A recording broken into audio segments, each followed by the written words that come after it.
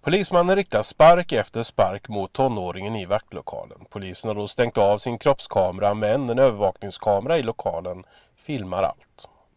Bakgrunden till scenerna i vaktlokalen i Helsingborg är att några ungdomar varit i Helsingör och festat. När de kommer hem med färjan väntar svensk polis eftersom det varit stökigt på båten och tonåringen blir omhändertagen eftersom han är för berusad. Tonåringen berättar själv senare i polisförhör att han var arg och att han inte var speciellt trevlig i vaktlokalen.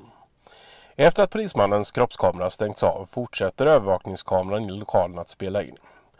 Filmen visar hur tonåringen fälls och landar på golvet och hur polismannen flera gånger sparkar mot tonåringen.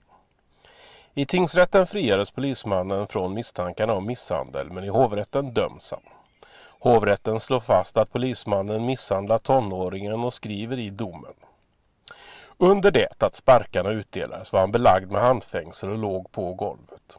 Det har därför inte varit en befogad tjänsteåtgärd att sparka på honom. Har du någon diagnos eller någonting? Du verkar inte stabil. Har du ADHD eller någonting sånt? Ja? Ja?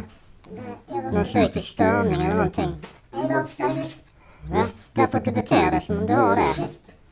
Varför är du så? Ja? Därför du beter dig fruktansvärt illa.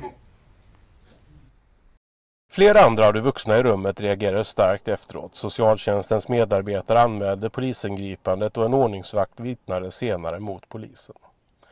Enligt hovrätten skulle polismannen normalt dömts till fängelse för misshandel men eftersom polisens ansvarsnämnd slagit fast att han kommer få sparken om han döms blir straffet bara böter.